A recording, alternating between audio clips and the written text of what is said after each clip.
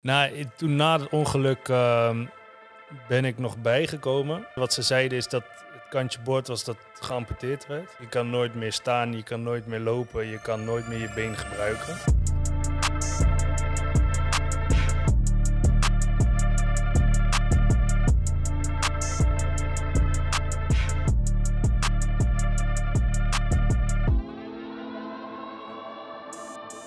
Welkom bij Puur de Podcast, alweer de derde podcast samen met Delano, mijn co-host. We hebben de tweede podcast hebben we samen opgenomen, zijn we met elkaar de diepte ingegaan, we hebben leuke vragen aan elkaar gesteld.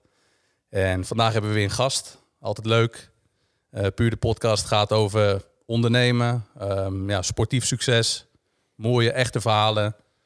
Ehm, ja, verhalen die eh, gaan over winnen, verliezen, mooie momenten in de sport, mooie momenten in het ondernemen. Eh, de minder mooie momenten in het ondernemen en in de sport. En ehm, ja, ik denk dat we vandaag een hele bijzondere gast hebben. Iemand die ik ook al eh, vanuit sportliefhebber eh, zelf een tijd volg. En iemand met een heel mooi verhaal, maar ook wel een treurig verhaal. En vandaag hebben wij ja, Leon de Kogel te gast. Iemand die ja, een mooi verhaal heeft, die hij waarschijnlijk zelf beter kan vertellen. Ook wel ja, een bijzondere afloop heeft gehad in de sport. Ehm, en ik denk dat heel veel mensen daar wel veel van kunnen leren. Eh, Leon, welkom. Dankjewel, leuk om hier te zijn. Ja. Top, top om je te ontvangen. Nou, top Delano dat jij er ook weer bij bent. Je bent het nog niet zat. Nee, maar weet je, je intro is mooi, maar het gaat ook over het leven. Dat, ja. dat stukje moest er nog even bij. Ja, nou, daar kunnen we zo eh, wat dieper op induiken. Precies. En eh, nou goed, vandaag gaan we het dus hebben over Leon de Kogel. Inmiddels eh, 30 jaar ex-profvoetballer. Ehm, ja, en dat is al bijzonder te noemen, omdat je natuurlijk normaal gesproken kun je nog een paar jaar mee. En in dit geval is dat eh, abrupt ten einde gekomen. Ehm, daar wil ik het zo even over hebben, maar misschien kun je wat meer vertellen over jezelf en over eh, ja, hoe jouw carrière of leven is begonnen als eh, topsporter. Ja, tuurlijk. Nee, eh 30 jaar, wat je al zei. begonnen toen ik vijf jaar was bij SV Houten. Ehm, ja, daar als klein jochie begonnen. Toen eh, als verdediger. Dus best wel eh, gek. Uiteindelijk spits geworden bij een profclub. Maar eh, toen ik 16 was, toen werd ik in de spits gezet. En toen kwamen er zo ontiegelijk veel clubs kijken eigenlijk. Omdat ik het zoveel scoorde. En toen werd ik gescout door Utrecht. Vitesse was dat toen. RBC toen nog bestond. En Ajax. Mhm. En toen eh, gekozen voor Utrecht en ehm, daarheen gegaan. Eh tweedejaars A-junior. Dus dan ben je 17 jaar, zo uit mijn hoofd. En eh, ja, toen is het heel snel gegaan. Toen eigenlijk één jaar A, eh, A1 gespeeld. Toen naar het tweede gegaan. Daar maar een half jaar gespeeld. En eigenlijk gelijk naar het eerste. En ja, zo is het bij mij begonnen. Verder, ehm, ja, gewoon normale jeugd denk ik gehad. Twee broers. Ehm, twee ouders die nog bij elkaar zijn. En ja, hele normale jeugd gehad. En verder, eh, ja, ik Ja. denk dat we het zo nog wel over gaan hebben. Maar Ja, heel ja, veel uitstappen gemaakt. En van alles gebeurd eigenlijk in mijn leven. Ja, Ja, er is eh, zeker veel gebeurd. Eh, jij speelde op een gegeven moment bij FC Utrecht. Daar ja, ook een aantal keer een ba- basisplaats gehad. En ehm, ja, hoe, hoe is dat toen verlopen, zeg maar? Wat, wat is het verloop van, van in ieder geval jouw, jouw voetbalcarrière geweest vanaf dat moment? Nou, je moet je voorstellen, je komt natuurlijk als, als jonge jongen die eigenlijk nooit echt topsport heb ge- heeft gedaan eh, bij een profclub. Dus ik had daar wel heel veel moeite mee op het begin qua intensiteit, zeg maar, qua, qua trainingen. Mhm. Veel blessures gehad ook, dus veel spierblessures. Ja, ik ging van twee keer trainen eigenlijk naar eh, ja, zeven keer per week bijna op, eh, op de club. Ja. En ehm, daar hebben ze me wel mee geholpen, dus soms aan de kant te houden. Maar ehm, ja, toch wel veel blessures gehad. En ook bij het eerste elftal, daardoor ook wat minder gespeeld. En minder snel dan ik hoopte Ja. basisplaatsen gehad. Maar eh, uiteindelijk ja, een hele mooie tijd gehad. Ik heb zoveel beleefd bij Utrecht. Ik heb eh, Europa League gespeeld, Liverpool uit. Dat was hoogtepunt, daar heb ik gespeeld. Eh, Napoli, uh, Steaua Boekarest uit. Het zijn gewoon hoogtepunten die, je nooit, of die nooit afgepakt worden. En verder, eh, ja, hele mooie momenten bij Utrecht, denk ik. Ik heb Europees voetbal gehaald, wat ik zei. Ja. En daarna toch, omdat ja, het, het was toch niet helemaal mijn. eh, ja, ik, ik kreeg mijn plek niet, zeg maar, in de basis daar. Toen toch ervoor gekozen om toch een stapje terug te doen. En dat was naar de tweede divisie dan. Dat was toen nog de Jupiler League. naar Go Ahead gegaan. En daar eh, ja, weer stapjes omhoog genomen. En uiteindelijk het eerste jaar gelijk gepromoveerd naar de Eredivisie. En toen speelde ik weer op het niveau wat ik wilde. Ja. En, en was, het, was daar, je fitheid was wel veranderd, zeg maar. Dus daar had je wel het gevoel dat je echt op je, ja, op je fitst was. Ja, zeker. Ik heb altijd wel best wel wat last gehad van blessures. Ik weet, ja, dat is denk ik genetisch bepaald. Dat, dat is soms wel lastig. Ik deed er best wel veel voor. Ik ging ook uh, vanuit Deventer reed ik uh, twee keer in de week naar Amsterdam om personal training te doen. Dus ik was daar wel mee bezig, maar toch wel veel uh, hamstring blessures, kleine blessuretjes, waardoor ik altijd ja, net niet dat hele jaar speelde. En ja, dat, dat is wel altijd zuur, zeg maar. Als je toch weer teruggeworpen wordt in je, in je, ja, in je speeltijd qua blessure. Ja. En, maar als je, als je nu terugkijkt, ja. aan de ene kant heb je zeg maar een normale jeugd kunnen hebben. Ja. Heb je niet vanaf je achtste vijf keer in de week moeten trainen. Heb je als het goed is ook gewoon uh, met je vrienden in je tienerjaren, weet je wel. En de jongens op de club gewoon behouden. Um, maar aan de andere kant is de keerzijde dus dat je wel ook wel weer die intensiteit en dergelijke, wat dan wel weer terugkomt in je carrière. Als je moet kiezen, zou je het exact weer zo willen hebben? Of heb je liever van, nou, misschien had ik toch iets eerder um, bij een Utrecht terechtgekomen dat ik met die intensiteit en mijn lichaam er echt meer in had kunnen groeien? Had je carrière dan misschien anders gelopen? Uh, ja, dat is moeilijk te zeggen, maar ik snap je vraag heel goed. Ik uh, zal kiezen voor hetzelfde wat ik heb meegemaakt. En dat heeft vooral te maken met dat ik ja, toch wel jonge jongens zie die zelfs op een achtste dan gescout worden. En dan bijvoorbeeld ja, in, de, in de B1 of zo, dat, dan zijn ze 16 en dan vallen ze af. En dan speel je uiteindelijk nog steeds amateurniveau. En dat, dat is eigenlijk dat je zoveel geïnvesteerd hebt. En dat je het dan net niet redt. En voor mij was het andersom eigenlijk. Ik investeerde natuurlijk. Ik vond het leuk om te voetballen. En ik was altijd wel een van de betere spelers bij SV Houten. Maar ik had er nooit rekening meer mee gehouden dat ik prof ging worden. Mm -hmm. En ik heb gewoon... Ja, ik ging vroeger ook hier naar de Brodders. Ik, ik heb alles gewoon gedaan. Ik ging de stad in met mijn vrienden. Ik heb alles meegemaakt eigenlijk wat, wat ja, veel mensen in hun jeugd hebben gehad. En uiteindelijk heb ik toch mijn droom nog waar kunnen maken en profvoetballer geworden. En of dat anders was geweest als ik vanaf jongs af aan qua blessures al bij een profclub zat, dat is moeilijk te zeggen natuurlijk. Maar ik denk dat ik dan wel ietsjes verder was geweest. Kan, kan je nog in je herinnering terughalen, dat, want ja, je bent 16, 17 en in één keer heb je een jaar dat je de ene bal naar de andere bal erin schiet en er is allemaal interesse van BVO's. Kan je nog dat moment terughalen dat, dat echt bij je door, doordrong van hé, hey, ik ben uh, gewild nu. Ja. Nou, het allergekste is, ik speelde dat jaar daarvoor eigenlijk gewoon nog centrale verdediger. Dus ik speelde, ja, ik, ik vond het leuk om te voetballen, maar ik wilde eigenlijk ook goals maken. En ja, die trainer kwam, je mag voorin spelen in de A1. was eerstejaars A1 bij, uh, bij Houten. Ja, dat ging in één keer zo goed. Ik scoorde achter elkaar en de clubs kwamen kijken. En ik speelde dan het eerste op mijn vijftiende bij Houten. En uh, ja, dan ga je in één keer denken van, het zal toch niet, weet je wel. Als het, als het zo doorgaat, dan word ik nog gescout ook. En toen uh, moest ik een proefwedstrijd bij FC Utrecht doen. En toen uh, wonnen we 7-1 of zo, maakte ik er 5. Ja, en na de wedstrijd zei uh, Harry Juvé, ik weet nog precies wie het was, als trainer.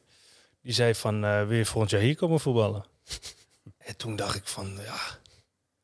Want Utrecht was ook je club, toch? Ja, ik kwam uit de buurt. Ik, ik, ben, ja, ik ben geboren in Al van der Rijn, maar op mijn eerste, voor mijn vaders werk, zijn we naar Houten verhuisd.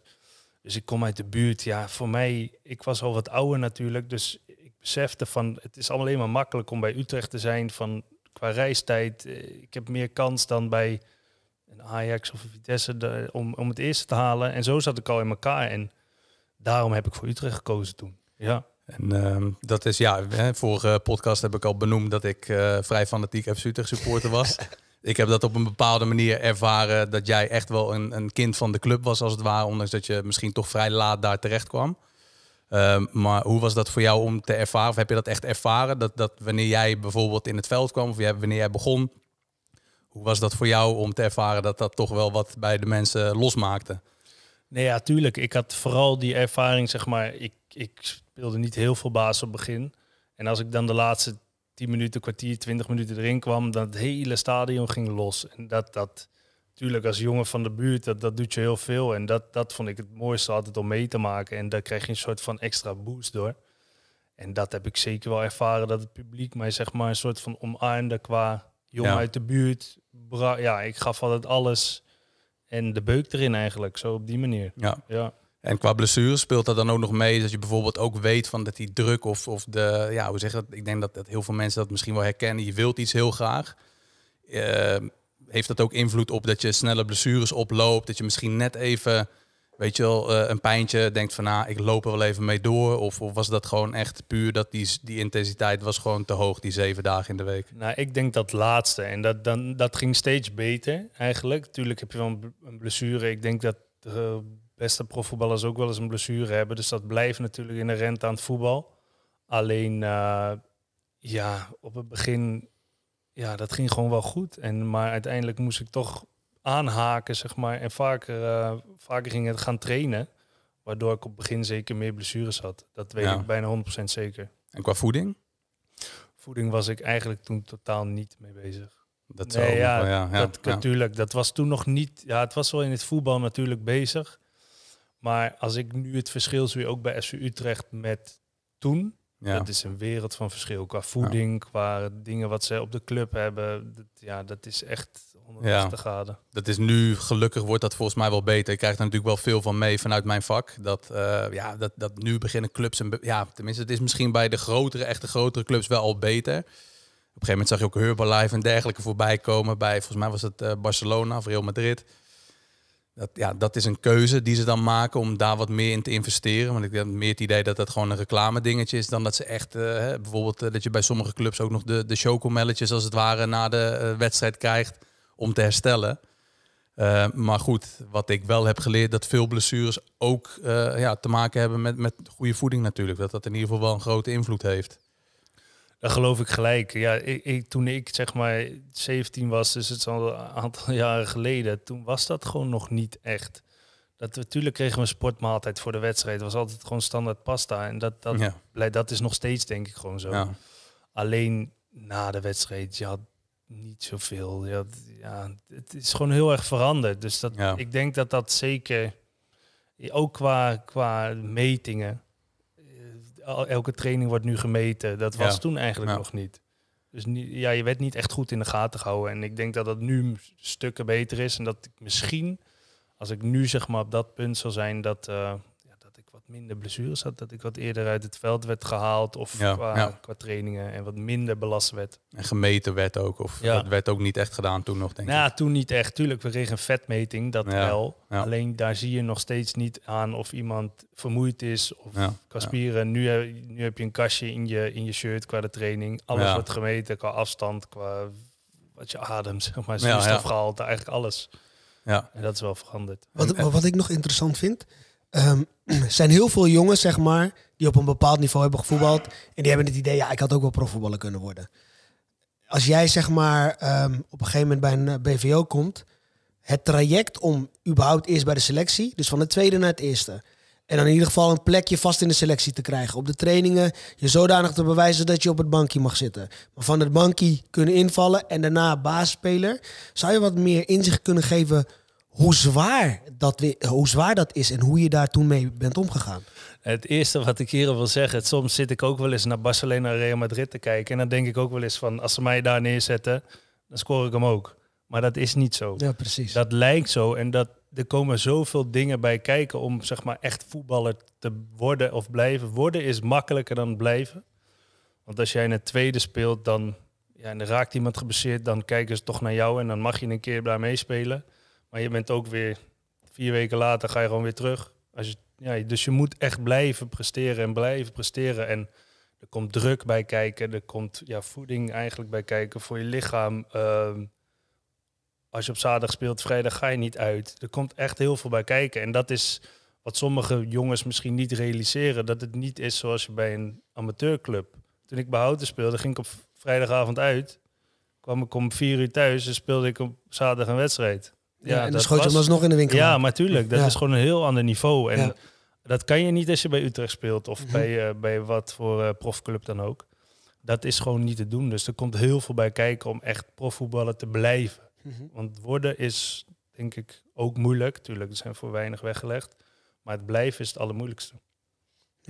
En als je ehm, naar jezelf kijkt van hoe je er mentaal mee omging. Dus omdat, ja, weet je, je komt er toch later bij. Maar uiteindelijk, ehm, ja, je moet toch continu. eh, het is heel confronterend als je niet speelt. Dus weet je, iedere week en wat je zegt. En als je wel speelt, dan voel je weer een bepaalde druk. En het is natuurlijk top als je wordt toegejuicht. En, maar mensen verwachten ook iets van je. En als je daarna in de basis staat, dan wil je niet falen. Weet je, dus hoe, hoe is dat? Hoe, om, om met topsportdruk om te gaan? Dat is denk ik het allermoeilijkste. Ik, ik kan jou, ik heb in de A1 bij Utrecht gespeeld. Ik kan jou eh, misschien eh, acht jongens eh, vertellen die echt misschien wel tien keer beter konden voetballen dan dat ik kon. En ook dan andere jongens die nu nog steeds profvoetballer zijn. Maar die konden gewoon niet met die druk omgaan. En elke week moet je presteren. En als je het in een week niet doet, oké, moet je toch in je hoofd hebben van volgende week moet ik wel weer presteren. En ja, je moet je niet laten afleiden door publiek, door media. En dat zijn hele grote factoren, denk ik, waar mensen zich toch laten door beïnvloeden, heel erg. Waardoor je toch verkrampt gaat spelen. En waar, waardoor ik heel veel jongens ook zie, heb zien afvallen eigenlijk, afzwakken. En wat, wat zijn tips of trucs die jij hebt toegepast om daar dan mee om te gaan? Dat jij bijvoorbeeld een, eh, een maatje bij FC Utrecht die, die jou daarbij hielp? Of hoe, hoe ging dat? Nou ja, kijk, op het begin eh, las ik zelfs nog bij FC Utrecht, weet ik nog, fcutrecht.net, Dat was supporters. En dan ging ik kijken, weet je wel. Dan ging ik na de wedstrijd lezen wat mensen over mij dachten. En de ene week was dat dus fijn om te lezen, maar de andere week was het, dan dacht ik van, ik kan helemaal niks van, weet Ja. je, ik kan het niet meer. Maar dat, dat soort dingen, dat is eerst, dat moet je gewoon niet doen. Dat moet je ook niet doen als je een goede wedstrijd hebt gespeeld, maar ook vooral niet doen als je een slechte wedstrijd hebt gespeeld, want dat, dat helpt je niet. En Nee. wat wij hadden toen was een eh, psycholoog, dat was toen al bij Utrecht wel een beetje aan de gang. Ik heb daar best wel wat mee gepraat toen. En dat heeft mij uiteindelijk geholpen, waardoor ik mij heel goed af kon sluiten eigenlijk van buitenaf. Dus als ik op het veld sta, had ik niet eens echt door dat, dat ik in een stadion aan het voetballen was. En buiten het voetbal was ik ook niet bezig met kranten en dat soort dingen. Dat hielp voor mij. Ja. Ja, mooi. mooi. En, en, en wie, wie was jouw maatje bij FC toen die tijd? Dat jij daar speelde? Of... Ja, je had best wel veel van de A1 zijn er best wel wat door of doorgebroken bij FC Utrecht toen eh, dat moment. Eh, ja, dat was Kai Herings toen, Chavero Marquiet was er toen nog. Mark van der Marel was er toen al. Dat waren, ja, dat waren echt, ja, die zitten, Die zitten nog steeds, hè? Ja. Sta je nooit daarvan te meer. kijken? Had je verwacht dat hij het zo lang, zeg maar op dat niveau, zoveel wedstrijden zou volhouden? Nou, het knappe is, kijk, dat is weer zo iemand. Ik kan jou misschien tien jongens opnoemen uit daar en die stukken beter konden voetballen. Dat is gewoon zo. En dat weet Mark waarschijnlijk zelf ook. Maar mentaliteit en voeding en rust, dat soort dingen, dat, heb, dat is echt knap dat hij er nog steeds zit. En ik weet niet of ik... Ik had wel verwacht dat hij, zeg maar, dat Utrecht misschien zijn hoogste zijn plafond is. Ja, dat ja, had ik ja. misschien wel verwacht, maar dat hij het zo en ook nog echt elke keer knokt hij zich toch weer erin. En dat vind ik echt heel knap. Ja, Ja, ja respect. precies. Dat, eh, daar heb ik heel veel respect voor. Vooral omdat je weet dat je niet de allerbeste voetballer bent. Maar ja, dat zie je toch in het voetbal zijn andere aspecten ook heel belangrijk. Hey, maar vertel even over Enfield, hè? Ja, Om daar te spelen tegen Liverpool. Sowieso, überhaupt voor Utrecht. eh, de wedstrijd tegen Napoli, tegen Liverpool. Dat, is, dat blijft natuurlijk in de geschiedenis, in de historie van Utrecht. Maar, maar maakte dat, dat extra los? Of is dat allemaal als een soort droom gegaan? nou ja tuurlijk. Wij, wij, eh, ik zat er toen nog niet bij. Celtic verloren we volgens mij 2 of 3-0 uit. Oh, dat weet je wel. Ja. Ja, thuis wonnen we 4-0. Ja. En toen gingen we naar de groepsfase. En we zaten nog in de kantine te kijken bij Zoudenballig. En toen zaten we te kijken van tegen wie moeten wij, weet je wel. En toen kwamen Steaua Boekarest, Napoli en Liverpool. En eh, mijn, eigenlijk de eerste wedstrijd dat ik echt erbij zat, was Steaua Boekarest uit. En toen viel ik ook na 70 minuten ongeveer eh, in. Ja, dat tuurlijk, maar dat was niet echt de sfeer. Dus ja, tuurlijk was het mooi dat je Europa League, maar niet de sfeer. En toen, ja, Liverpool uit. Daar had iedereen het over. Hoeveel man zaten, er, zaten daar in het uitvak? Iedereen had het al eh, weken van tevoren, allemaal kaartjes. En eh, ja, vrienden van mij zaten daar. En, eh, maar ik zat gewoon op de bank. Ja, tuurlijk. Maar het was wel mooi om mee te gaan. En toen Van Wolfswinkel net voor de rust, die uh, kopte wel en die brak zijn sleutelbeen. Dus trainer zegt, ja Leon, ga maar lopen. Ja. Spanning maar hard zo. Ja. Dus ik dacht, ja oké, ja, ik ga wel, maar ik, wel spanning. Dus ik ging lopen en eh, ja, je, zag al dat, dat hij gebroken had uiteindelijk. Dus hij ga, ga er maar in. Dus ik, eh, vijf minuten voor rust of zo, kwam ik erin. Eerste kopduel. Ik kopduel, maar ik denk Skretel. die- Ah ja, maar dat was een best hoor. Hij ging dwars Ja. door me heen, hè? ik denk, oké, oké, dit is het. Ja, dit is het. Maar was je niet langer? Want hij was wel lang, maar niet Ik was wel 1,95 langer, toch? Maar ja, Ja. weet ik veel, dat, dat hij gelijk vol knalt zo door mijn hoofd bijna heen. Nee, dat, dat weet ik nog heel goed. En daarna eh, ging hij er wel uit. kwam Kirgiakos erin, zo Griek. Die was nog groter dan dat ik was. En, eh, maar gewoon die sfeer en zo, ook na de wedstrijd, naar het uitpubliek. En, maar ook gewoon, het zat best wel vol met Liverpool-fans. En ik speelde best wel een goede wedstrijd. Ik speelde 0-0. Ik kreeg ook daarna veel complimenten, ook van teamgenoten, weet je wel. Dus ik had echt een goede wedstrijd gespeeld. En ja, daar heeft iedereen het nog over. Wat jij ook zegt nu van Liverpool uit, dat is gewoon het moment van Utrecht nog steeds. En daar heb ik toch wel deel van uitgemaakt en best wel lang gespeeld. Dus dat, ja, tuurlijk, dat zijn de momenten die, eh, die blijven je altijd bij. En dat is denk ik het mooiste moment wat ik in mijn carrière heb meegemaakt. Dat denk ik wel. Heb Ja. je nog een shirtje toen gerouwd? Of, eh? Ben kwijtgeraakt. Ja, dat is heel erg dit. Ja, met maar met wie? Met wie heb je... Met wie heb je Ja, met de jonge gozer. Ja. Eh, hij stond links, eh, links centraal. Ja, Maar ja, gewoon dat shirt alleen al. precies. Ja, ik Gewoon de herinnering. Ja, maar ik heb een foto dat we voor het uitpubliek, gewoon voor Utrecht publiek staan, dat ik hem aan heb. Dat Ja. Liverpool. Maar ja, ik ben hem kwijt. ja, dat is erg hoor. Ja, het is wel, het is wel een dingetje. Ja, dat is zeker een ding. Maar ik heb, ik heb wel de foto nog dat ik hem een soort Ja, van ja. aan heb. Maar ik ben hem kwijtgeraakt met verhuizing. Maar ja, gewoon... Ik, ik heb nog wel eens eh, later op eh, Fox Sport was dat toen nog... Heb ik wel eens eh, die samenvatting gezien. Ja, ik weet niet, ik kreeg gewoon kippenvel of zo. Ja. Terwijl het stadion zelf is helemaal niet zo heel erg mooi. Of, Mhm. maar, maar het is gewoon sfeer, Liverpool ja. en sfeer. De en ook buiten. Ja, daarna gingen we ook naar het hotel. Zijn we nog de stad ingegaan. Supporters daar helemaal vol. Alles. Ja, dat was gewoon... Ik weet niet, die, dat, die hele twee dagen waren gewoon mooi. Ja, echt. Profvoetbal, eh, gewoon ten top. Gewoon, eh, ja. Dat is eigenlijk waar het voor doet. Dat Ja, zijn ja. de momenten. Er zijn heel veel klote momenten, zeg maar, Ja, bij ja, het ja. voetbal. Maar dit soort momenten, dat, dat maakt het dan weer goed. Ja, Ja. zeker. ja, mooi. En, en, en daarna, ja, dat was dan je hoogtepunt. La- later ben je naar, naar Go Ahead gegaan. Ja, tuurlijk, daar heb ik ook een hoogtepunt meegemaakt. Maar Ja. dat is, eh, toen speelden we Jupiler League. Maakte ik 26 goals dat seizoen, dat eerste seizoen. Maar alsof het niks is, hè? Ja, zeg ja. maar, kijk, tuurlijk. ja, het is, je gaat van, ja, maar je gaat van, van, van Utrecht naar, de, naar Go Ahead. Wat natuurlijk ook een prachtige club is. Ja. Maar 26 goals, maakt niet uit op welk niveau. In de senioren is gewoon... Het zijn 26 goals, hè? Nee, ja, dat is ook zo. Ik weet nog, ik, ik, voorbereiding deed ik nog bij Utrecht. Was Ten Hag werd toen trainer. En eh, ja, ik merkte gewoon, ik werd ja, tweede, derde spits. Maar ik wilde echt spelen. Ik, dan kom je op een leeftijd, dan denk je van, nu moet het wel gebeuren. Dan moet ik gewoon een heel jaar gaan spelen. En dat was niet bij Utrecht. En toen had Ten Hag, want die was trainer van Go Ahead geweest, die had goed woordje gedaan. En toen ging ik daarheen eigenlijk. Toen moest ik eh, even laten zien dat ik nog fit was. Nou, Mhm. dat is binnen twee dagen gelukt. Ja. Dus toen eh, werd ik gehaald en ja, eigenlijk het hele jaar gespeeld. 26 goals, alles goed. Gelijk gepromoveerd naar de Eredivisie. Alleen eh, ja, toen eh, gelijk weer tegen. Ja, Ja. oké. ja maar Ja. goed. Maar aan de andere kant, om zo'n seizoen mee te maken waarin je promoveert. Want dan zit je natuurlijk ook in een bepaalde flow. Weet je wel? Want, want ja, uiteindelijk, als jij aan de lopende band scoort, de punten worden gepakt, sfeer is goed. Dus ik denk dat het ook wel een bijzonder jaar was. Ja, en het gekke is daar, ik ben eigenlijk bijna niet geblesseerd geweest. Dus dat is wel gek. Of Ja. dat echt, ik was toen wel echt bezig met mijn lichaam, maar was ik daarvoor ook wel. Maar ik weet niet. Ik heb ook het gevoel dat je echt in een flow zit of in een ja, lekkere vibe, zeg maar. Mhm. dat je dan ook gewoon bepaalde dingen wel kan doen. En als je in een slechte periode, dat je niet veel speelt, dat je Ja. dan gewoon sneller, ik weet niet, verkrampt of Ja, zo. maar het is, Of het is ik- natuurlijk ook vertrouwen, hè? Ja, dat Kijk, denk het is ook, natuurlijk ook een verschil als jij eh, in een selectie of in een team dat je weet dat je heel belangrijk bent. Jij bent eindstation. Jij bent degene die het balletje erin moet leggen. Dus Precies.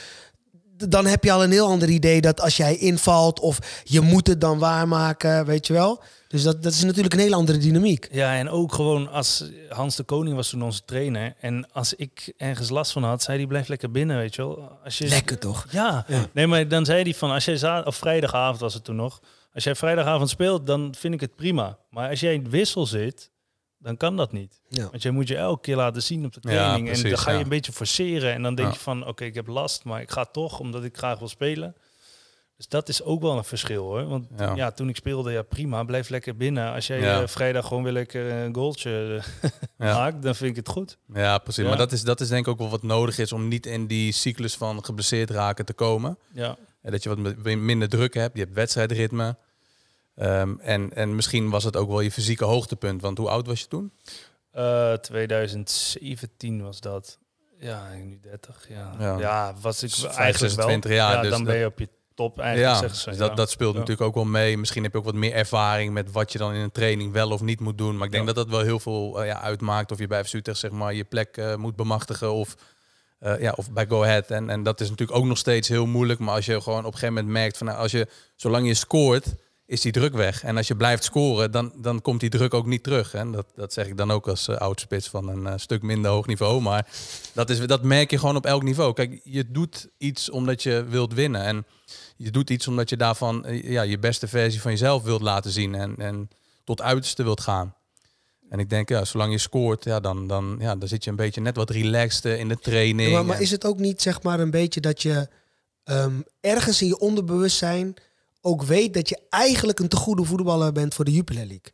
Dus dat je daardoor, weet je, als jij met jongens vroeger al, als jij ergens op een schoolpleintje ging voetballen, maar je wist dat jij de absolute beste was, dan loop je heel anders. Als dat jij op een schoolpleintje komt, je denkt, ah, die speelt daar, die speelt daar. Want dan, ben je, dan voel je toch die, dat je een beetje verkrampt. ja, ja, maar als jij vrijuit kan voetballen, niks is lekkerder. ja, ja. Niks is lekkerder. Ja, is ook zo. Ik heb altijd wel gezegd van als ik zeg maar op de leeftijd dat ik bij Go Ahead speelde, bij Utrecht zat, had ik 100% baas gestaan. ja, Dat heb ik altijd gezegd. En dat denk ik ook nog steeds. Dat als ik zeg maar ook het jaar daarop gingen we naar de Eredivisie. Ja, je moet je voorstellen bij Go Ahead, we hadden niet, ze hadden geen budget om echt spelers te halen. Allemaal huurlingen die toch net niet goed vielen. Dus dan is het lastig als spits. Je krijgt Ja. een aanvoer, je kan Ja. niet goals maken waar je voor staat. Maar ik denk als ik op dat jaar zeg maar naar Utrecht was gegaan, ja. terug of iets, dan had ik 100% goed jaar gedraaid. Dat denk ik wel. Ik voelde me zo sterk. Ja, dat, dat, dan voel je gewoon zo. Ja. En dan kan je alles aan voor je gevoel. ja. Ja, Ja, daar kun je wat mee. Kijk, met fitheid en, en dat vertrouwen, daar, daarmee kun je heel ver komen. En ook heb je fysieke hoogtepunten, dan ja, is dat wel mooi. En, en hoe is dat dan uiteindelijk gegaan, zeg maar? Als je dat gevoel hebt van oké, want dan, dan ben je zelf eigenlijk klaar voor die volgende stap. En dan zit je in een team wat dan eigenlijk ja, niet, eh, daar zit je niet op je plek. Want dan zit je in een team dat jou niet die aanvoer geeft als spits zijnde met goede ballen. Je verliest vaker. Je speelt natuurlijk ook wel tegen betere verdedigers. Dat speelt natuurlijk ook mee. Maar ja, een spits is afhankelijk van alle ballen die hij wel of niet krijgt. ja ik zat toen heel erg te twijfelen. Ik had een goed seizoen. Krijg je natuurlijk interesse van andere clubs. Maar ja, ik had nog een, eh, een jaar contract. Dus ja, zij vroeg boven de miljoen of zo. Dat is echt heel veel voor een Jupiler spelen eigenlijk. Dus ja, clubs wilden het gewoon niet betalen. Dus ja, de enige optie was om te blijven eigenlijk. En mijn Ja. contract op te waarderen en nog een jaartje bijtekenen. Dat heb ik toen gedaan.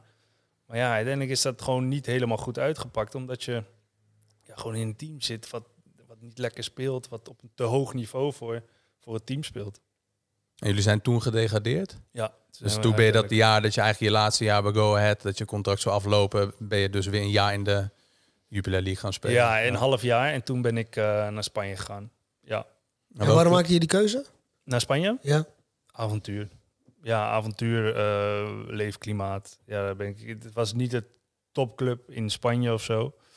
Maar eh, gewoon in Barcelona wonen. Gewoon het avontuur. eh, ja, heerlijk goed salaris. Ehm Welke club gaat het? Cornea was dat. Ja, was, er was Secunda B daar.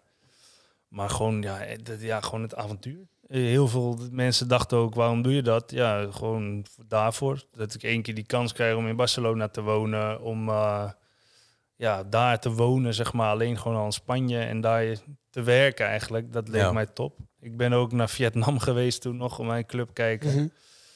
Maar ja, dat, ja, dat trok mij niet. Ja. Qua salaris zit je dan- Barcelona, Vietnam. Ja.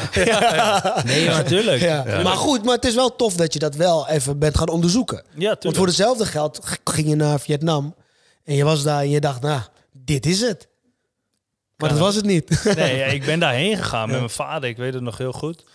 Want ik kreeg een hele goede aanbieding. Dat ja, qua geld eh, kan je daar best wel heen. Maar ik zei, ja, ik ga eerst kijken. Gewoon, kan ik daar leven? kan ik daar iets? En toen kwam ik daar en toen zei ik binnen een dag, ik zei nee, dat ga ik niet doen. Ja. Toen ben ik nog heel veel vakantie gevierd en ben ik naar huis gegaan. Ja, precies. Ja, en die dag daarna ben ik naar Schotland gegaan. Ja, Toen ben ik bij Hearts geweest. Hearts een hele grote club in Schotland. Maar ik kwam financieel niet uit. Ja, ik, ik, je moet er toch wel iets aan overhouden van... ehm, had wel bij je gepast, denk ik. hoor. ja, denk ook. Ik had Dingen, ook wel, Ma- ja. Mark de Vries is, bij Hearts heeft hij een mooie carrière gehad. Dus ja. gewoon fysiek sterk daar. Ja. En als je daar een paar erin schiet, dan ben je het mannetje. Nee, maar dat is ook zo. En ik wilde er ook graag komen. Alleen ja, soms is financieel... Als je daar slechter van wordt, zeg maar... Ja. Ja, precies. dan moet je toch andere keuzes maken. En toen ben ik eigenlijk die dag daarna alweer naar Barcelona gegaan. Mhm. En ja, dat voelde voor mij gewoon lekker. Gewoon het leven, gewoon die club was, was een club die wilde gaan groeien. Nou, dat zag ik mezelf wel spelen. En eh, ja, we speelden Real Mallorca uit, eh, op eh, Formentera, op Ibiza. Gewoon dat soort, ja, Ja, dat ja. heb ik toch, dat is toch leuk. Pakt ook niemand meer van je Nee, af. daarom. Nee. Dat zijn Pakt toch niemand leuke meer van je dingen. af. Uitwedstrijd op Formentera, ja, dat is toch leuk. Dus, toch? dus, ja, ja. Ja. zeker. Normaal ga je op vakantie daar. Precies. En alleen, ehm, eh, je hebt twee kinderen, twee, twee jongens. Ja. Eh, maar je was toen ook al vader. Ja. Zijn, was je gezin toen meegegaan naar Barcelona of Ja. ben je alleen gegaan? Nee, ik was toen, eh, toen was ik nog samen. Mhm. Ik ben nu inmiddels uit elkaar hoor, een aantal jaar ge- geleden. Maar toen ben ik daar, ge- ja, die kids ook. En die kids zaten daar gewoon op, eh, ja, niet school, ze noemen dat pre-school. Ja. En eh, ja, leuk joh, die kids vonden het geweldig. Het is altijd mooi weer. Ja. Ja. wat wil je dan als kind? Ja, Ja, dat is prachtig. Hè? Ja. ja. Want je, bent, je bent dan ook bezig, zeg maar, want hè, je, je bent dan met geld bezig. En ik denk dat dat voor luisteraars ook wel interessant is. En kijkers dat ehm, ja, in het leven draait het natuurlijk ook om geld. En helemaal als profvoetballer zijn, je hebt een hele, heel klein tijdsbestek eigenlijk om je geld te, verdienen. Want jij stort natuurlijk je hele leven op je salaris als voetballer, zeg maar. En was je daar toen ook al mee bezig? Hè, je zegt van nou, met de onderhandeling kwamen niet uit. Ja, je moet natuurlijk jezelf ook al een beetje financieel indekken voor de toekomst. Hoe is dat eigenlijk? Ik denk dat heel veel mensen, en ik, ik zelf wil het ook altijd wel weten, van hoe is dat eigenlijk geregeld? Als je dan een salaris hebt, bijvoorbeeld bij FC Utrecht, waarbij dat dan hè, best wel misschien wel prima is of, of zeer, zeer goed, naar bijvoorbeeld eh Go Ahead Eagles en dan naar Spanje. Ben je dan ook al bezig met de toekomst, financieel gezien? tuurlijk, daar ben je altijd mee bezig eigenlijk. Kijk, bij, bij Utrecht begon ik met een koelkastcontract, hebben ze het dan over. Dat is eigenlijk gewoon heel weinig. Dus 500 euro per maand was dat toen volgens mij. En toen, eh, toen kreeg ik mijn eerste echte contract. Dat was drie jaar bij Utrecht. En ehm, toen ging ik naar Go Ahead, werd het minder. Dus ja, dat is echt een stap voor jezelf. Gewoon om te investeren van de, Ja. uiteindelijk ga ik weer omhoog. Ja. En dat jaar daarop dat ik Eredivisie, ik nog nooit zoveel verdiend. Dat was gewoon ja, een topsalaris eigenlijk Ja. voor, voor Go Ahead Eagles begrippen. Dat hebben ze ook gezegd toen eigenlijk. Maar ehm, ja, uiteindelijk weer gedegradeerd. Weer Ja. door de helft mijn salaris eigenlijk. Dus dan ga je nadenken, wat ga ik doen? Want je bent op een leeftijd ook van, eh, je kan nog een stap maken. Je zit eigenlijk op je topleeftijd eigenlijk, Ja. ik zei. En dan ga je naar Vietnam en dan denk je van, als het wat is, dan kan ik echt mezelf soort van binnenvoetballen. Ja, Maar ja, ja, dan ben ik toch nog iemand die toch te veel van het leven houdt. ja, ja. En die zich niet als een kluizenaar op gaat sluiten voor geld, zeg maar. Ja. Want je kan daar eigenlijk niks. En eh, dan ga je voetballen en eh, dan ga je naar huis, Playstation de hele dag. En de dag Ja. daarna ga je weer. En dat dan, is het ook niet. Nee, en aan het eind van de maand heb je wel een dikke bankrekening, maar toch hecht ik dan meer waarde aan het leven gewoon, zeg Ja. maar.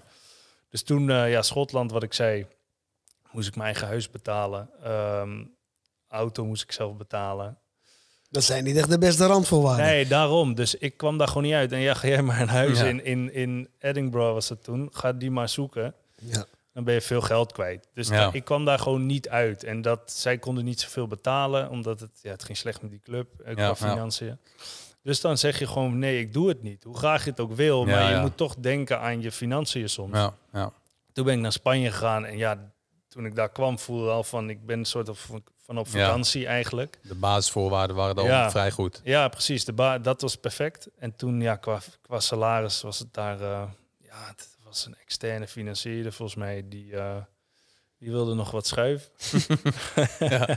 Dus Ja. ja. zo zijn we eruit gekomen. Ja. En ehm, Maar hoe lang heb je daar nou uiteindelijk gezeten? ja, ik, ik had een contract van eh, anderhalf jaar, maar uiteindelijk een half jaar geworden. Want toen ging je dus op die bewuste vakantie. Ja. Ja, precies. voor, voordat we daar nog eh, hè, even eh, voor, want het is ook een belangrijk moment, hè, voordat we hier naartoe overgaan, wil ik toch nog even, ehm, ja, hopelijk kun je die vraag misschien wel beantwoorden. Hoe doen voetballers dat zij zeg maar het salaris wat ze in een bepaalde tijd verdienen, dan heb ik het niet over de echte de miljoenen voetballers, de Cristiano Ronaldo's en dergelijke, maar voetballers die dus ja, continu bezig zijn met dat salaris. Om dus wel gewoon, hoe, hoe werkt dat? Hoe zet jij jouw geld eh, ja, verstandig weg?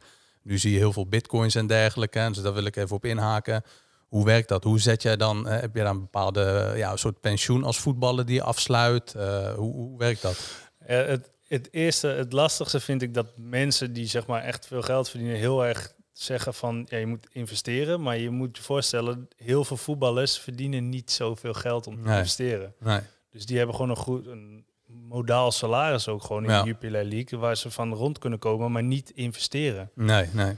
Maar verder denk ik, um, ja, wat voetballers ermee doen, ik, ja, ik denk aan de kant zetten. In Nederland heb je sowieso het CFK.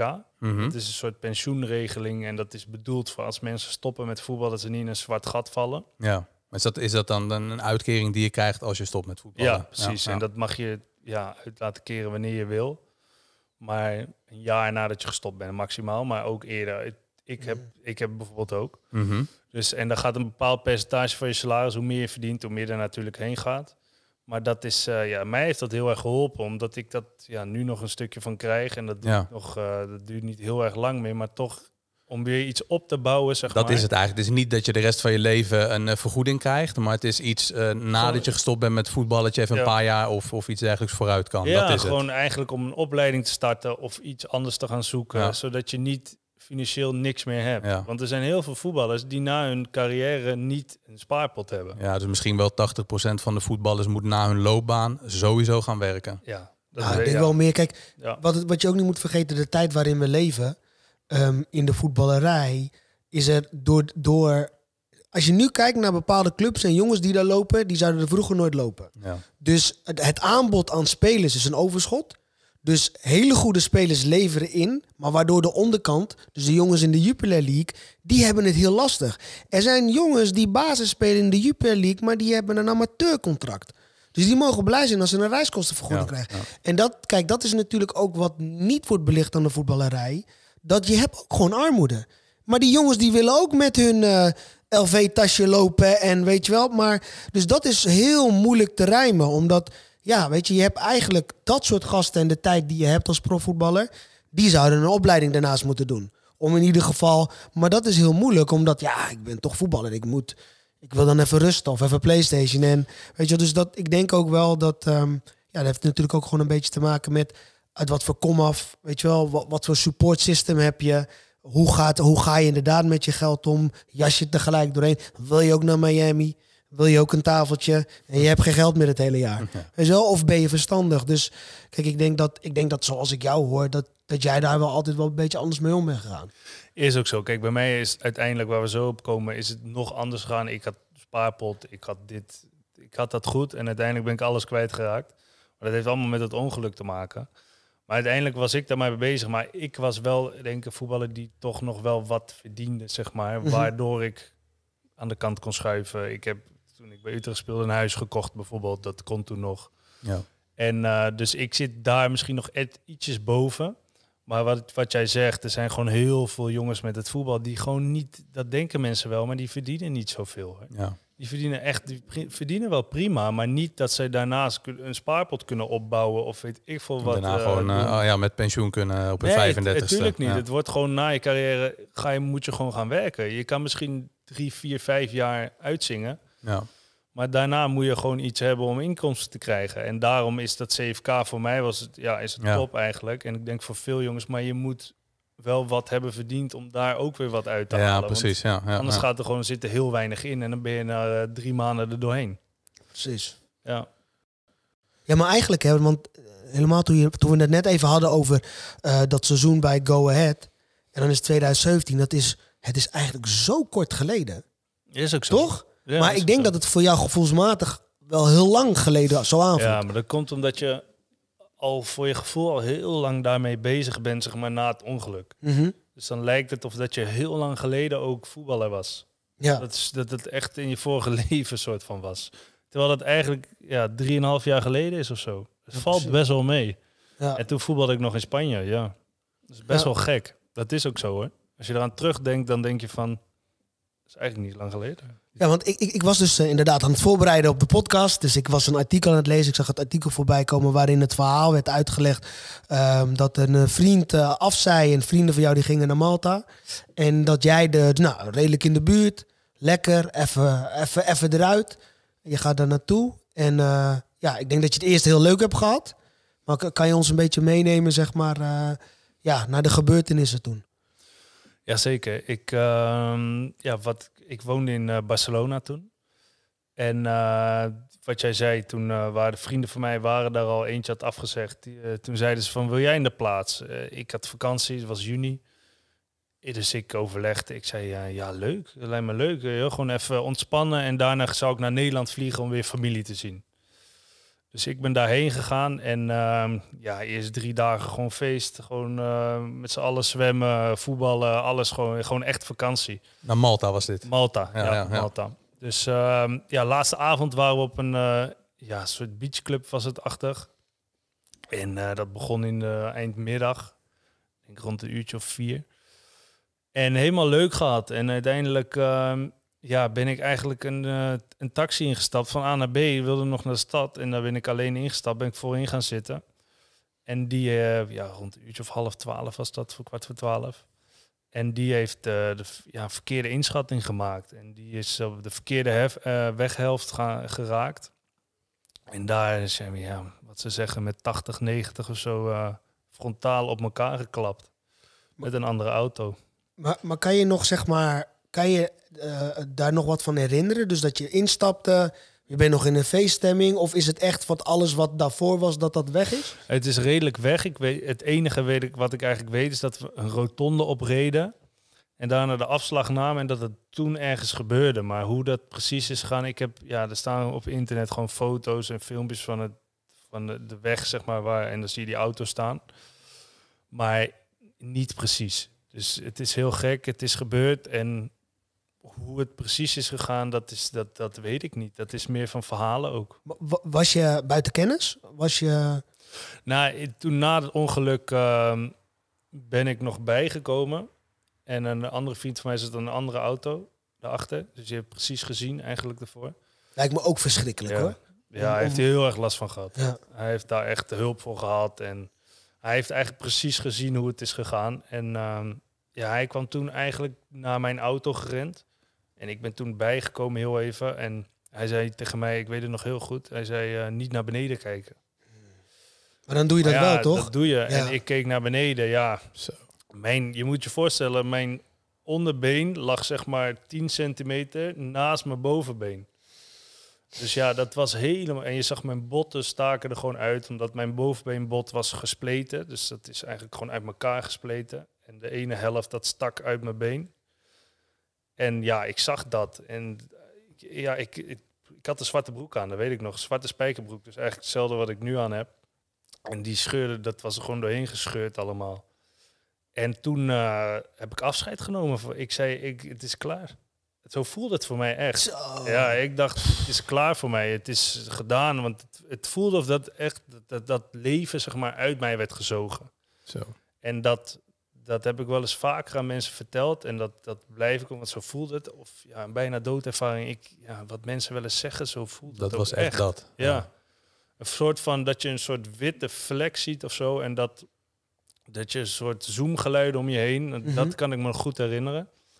En ik heb daarvoor nog tegen hem gezegd van... Zeg tegen die kids, ik hou van ze, weet je wel. Gewoon Zo. dat soort dingen, ja. En voor mijn Ja. ouders, weet je, zijn altijd voor mij geweest. Ik hou van, die, van ze, wil je dat alsjeblieft zeggen? En toen ben ik weggegaan. En toen ben ik eh, buiten kennis geraakt. Mhm. En dat was voor mij een soort van bijna doodervaring omdat ze ook hebben gezegd van dat ze net op tijd waren. Mhm. Dus ik had zoveel bloed, want dit lag helemaal open. Ja. Dus al het bloed stroomde gewoon eruit eigenlijk. En eh, ja, ze hebben mij net op tijd geholpen. Want anders was het klaar. Dus ja, ik was zoveel bloed kwijt. Dat, dat, ja, ik heb zoveel zakken bloed ook gehad daarna. En eh, omdat ik gewoon aangevuld moest worden. Mhm. Omdat ja, als je te weinig bloed hebt, stop je lichaam. Ja. Dus ze waren net op tijd. En toen ben ik eh, met een ambulance... Dat, dit weet ik allemaal niet meer hoor. Ja, ja, ja. En toen ben ik naar het ziekenhuis ge- ge- gebracht eigenlijk. En daar is zes uur lang geopereerd of zo.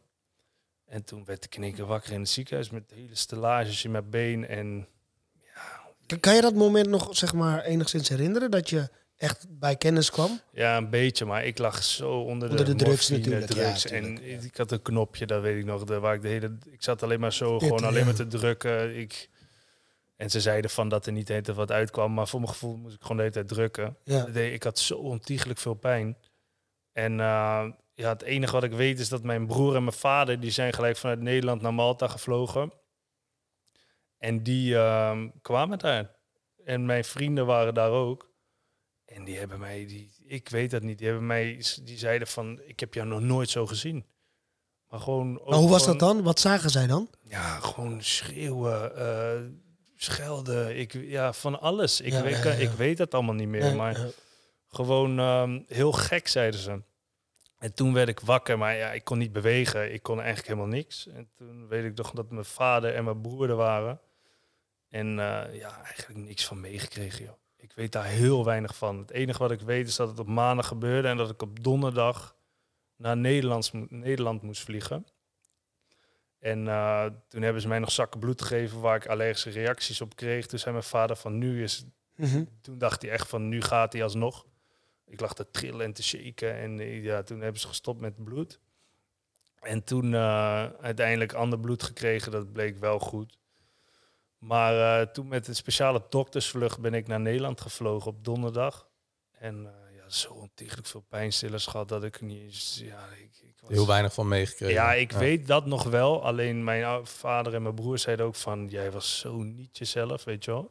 Ja, maar wat wil je zo- ook, man? Ja, is ook zo, Ja, natuurlijk. je, je lichaam staat op volledige Ja. eh, eh, eh, overleefmodus. Precies dat. En, ja. en, en als je dan ook al helemaal wordt platgespoten. Maar wanneer was dan het eerste moment dat je, dus zeg maar, dat, dat kan maanden daarna zijn, maar dat je echt het ook, eh, het besefte kwam. Wat er nou is gebeurd, hoe je erbij ligt en hoe je leven dan anders gaat verlopen.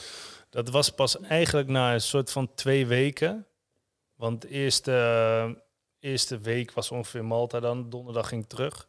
Maar ik kwam in Nederland toen twee uur s'nachts of zo. Eh, mijn moeder was in het ziekenhuis. En toen hebben ze mij nagecheckt.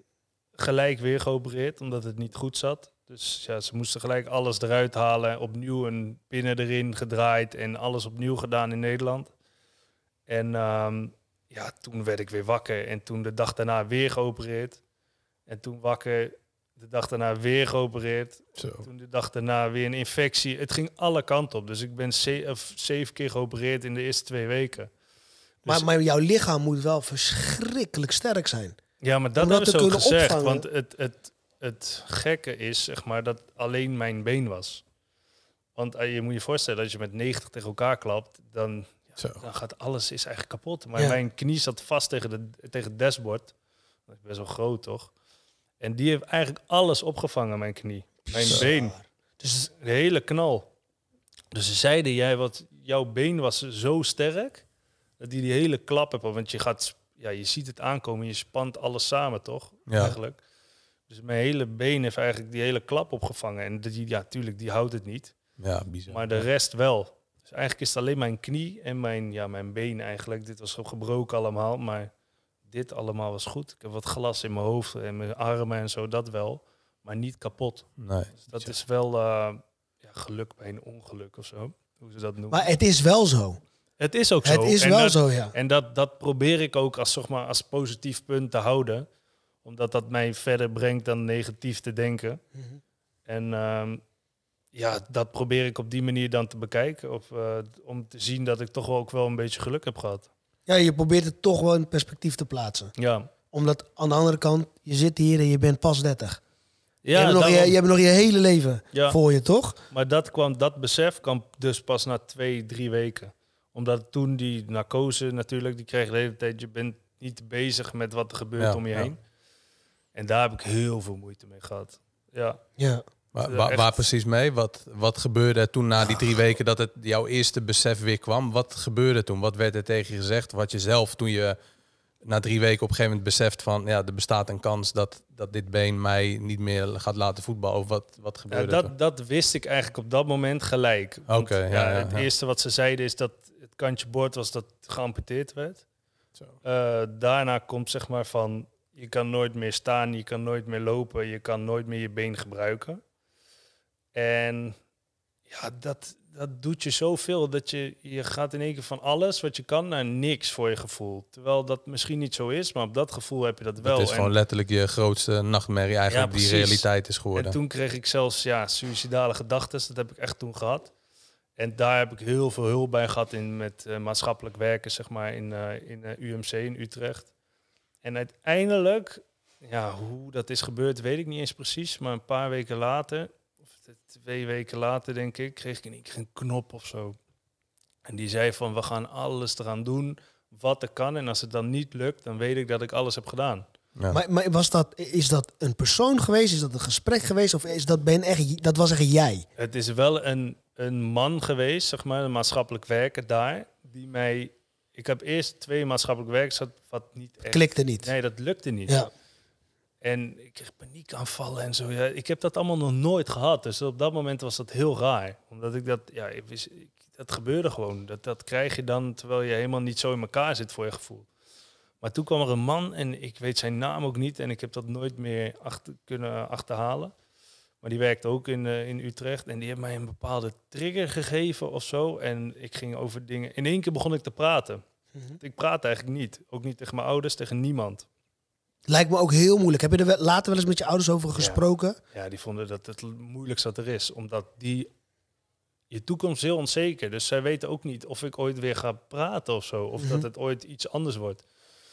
Dus ja, voor mijn gevoel was het niet moeilijk. Maar voor buitenstaanders heel erg. Ja. Dus die, die, ik wilde ook niet mijn vrienden zien of zo. Ja. Die wilde ik niet. Je wilt eigenlijk aan Ik niets wilde herinnerd niks. worden wat met Ja, jouw vorige ik- leven dan. Ik wilde, ja. nee, ja, ik wilde die niet gewoon onder ogen komen. Ik, ik hoefde die mensen niet. Ik wilde gewoon niks. Ja, maar als je het... ah, Je maakt net een opsomming qua tijd. Het is natuurlijk ook allemaal heel kort op elkaar. Is ook zo. Dus als je er ook over terugdenkt, wat je van jezelf verlangt. En dat je eigenlijk heel snel dan toch die trigger hebt gevonden. Ja. Waar een ander misschien jaren of misschien ook niet eens uitkomt. Nou ja, dat is ook zo. Ik heb uiteindelijk fysio gekregen eens in het, in het eh, UMC. Had ik heel veel moeite met die fysio. Want die probeerde mij op te vrolijken, maar dat lukte niet. Nee. Heel veel ruzie met hem gehad. Maar uiteindelijk, ehm, ja, ik kreeg gewoon die, die trigger van die, van die maatschappelijke werken van probeer het nou. Het klinkt nu heel cliché natuurlijk, maar probeer er gewoon alles uit te halen en dan zien we wel het strand. Want je kan, je weet het toch niet. De doktoren weten het niet, jij weet het niet, ik weet het niet. Dus ga het proberen. En toen merkte hij na een week werd het van niks, je kan er weer op staan. Misschien. Na, ja, het is nu een week, maar na acht weken is het in één keer van je kan hem een klein beetje buigen. Ja. Na een half jaar is het misschien kan je ooit weer erop lopen. Dus dan krijg je toch een soort van eh, Hele positieve impulsen. Ja, tuurlijk. ja. Ja. dat je toch nog meer eruit. En ja, nu ben ik eh drieënhalf jaar later en nog steeds ga ik naar de fysio. Omdat ik weet dat het misschien helpt. En ook al helpt het niet, weet ik in ieder geval dat ik er alles voor doe. Ja. Maar Ja. hoe is het dan nu? Hoe, hoe zou je het zelf... Wat kan je wel, wat kan je niet? Ik kan lopen en eigenlijk verder niks. Dus ik kan, ja, maar ik mag het ook niet. Dus Mhm. ik mag niet springen, ik kan niet rennen. Ja. Ik, ehm, het is lopen, maar dat, dat probeer ik in mijn achterhoofd. Dat is al heel wat. Dat is voor... Als je zegt, je hebt een klap Ja. van 90-90 Ja. opgevangen. Ja, En, en je kan dit. En ook mentaal ja. ben je nu zoals je bent. Dan, Ja. Ja. ja, precies. En eerst zeggen ze van je been wordt misschien geamputeerd. Nou, dan kom je daar en dan kan je nooit meer staan of lopen.